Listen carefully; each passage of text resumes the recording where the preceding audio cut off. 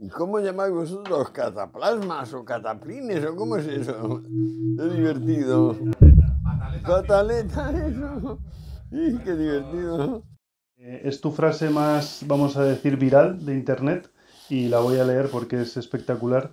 Eh, un país no es rico porque tenga diamantes o petróleo, un país es rico porque tiene educación. Educación significa que aunque puedas robar, no robas. Cuando un pueblo tiene eso, cuando un pueblo tiene educación, un pueblo es rico. Es claro, fíjate, Suiza. O sea, que es que ahí está el periódico, lo coge la gente, el metro no lo pagan. O sea, y así se funciona, claro, y se ahorra una cantidad de dinero tremenda. Total. Y, ¿Y qué pasa? Que hay que dar, pues hay que dar confianza, hay que ser, como dicen ellos, esa palabra tan buena, reliable. Hay que ser fiable.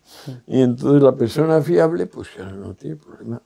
Que durante mucho tiempo nosotros hemos estado envidiosamente quitándole el último éxito a los suizos. Sí, sí, diciendo nosotros, pero es que tienen los depósitos bancarios, su secreto. Se han hartado de, de esto, los suizos son, tienen esa moralidad tan impecable, han suspendido el secreto Sí, sí, bancario. total, total. Los y da igual, le siguen metiendo la misma cantidad de pela a los bancos suizos. ¿Por qué?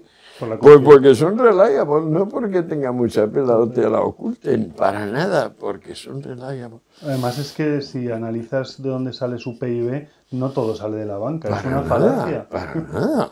No, si esta gente es como los americanos para encontrar negocios debajo de las piedras, en este caso no, es para sacarle rendimiento a una tierra que está en unas laderas que dices, pero Dios mío, si aquí ruedo yo hasta el fondo del valle, y son mil, mil, mil metros lo que me, separa, es brutal. Nos hemos dado cuenta de, de una cosa como que ha sido un, un- un aprendizaje para mí, ¿no? O sea, lo bueno de esta empresa es que como me he ido a países eh, que no- en los que no había vivido, todos son aprendizajes y hallazgos, ¿no? Y entonces me he dado cuenta cómo eh, inversión y educación siempre van de la mano. ¿Verdad? O sea, y, y es curioso porque hay gente que lo quiere enfrentar, pero no hay manera de encontrar la riqueza si no hay una inversión, Claro. ya sea extranjera o de... No, Y la inversión y luego la educación Claro. es la diseminación de una confianza fundada. Sí, sí, Porque el problema es que no basta tampoco difundir la confianza, porque es un poco difundir la temeridad. No, no, cuidado, tiene que ser una confianza fundada. O sea, tiene que haber personas reliables por todo a tu alrededor. Esto no vale con trileros. Además es que, es que parece que no, pero, pero la confianza es igual de importante en la inversión que en la educación. Exactamente. En la inversión es te voy a dar dinero para que me devuelvas más, es decir, creo que el futuro será mejor que el presente, claro. eso es una inversión.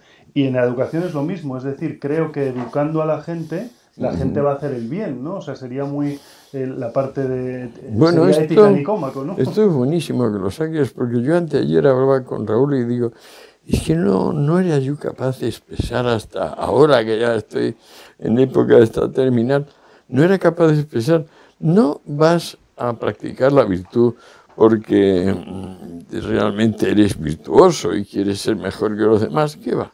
Tú estás obligado a practicar la virtud, todos nosotros, porque es la forma más llevadera de pasar el acontecer.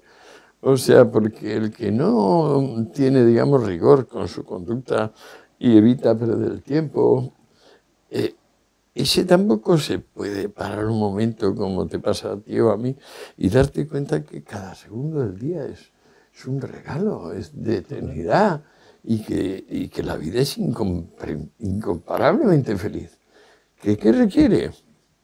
Que tú hayas elegido la virtud y que eso te dé sosiego, porque si no, no hay sosiego. Sí, sí, sí. Y sin sosiego ya la falta de paradero, el aburrimiento, el- lo que llamaban los primeros románticos también, alienación, ¿no? O sea, poner el alma en lo que no es tuyo, en lo que no te importa realmente, y entonces estás extrañado.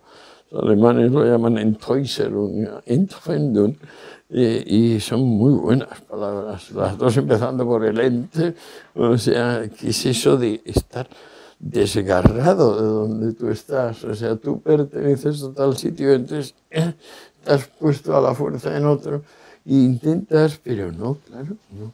Tú no puedes poner el alma en salvados de luxe, por mucho que lo intentes. Ya.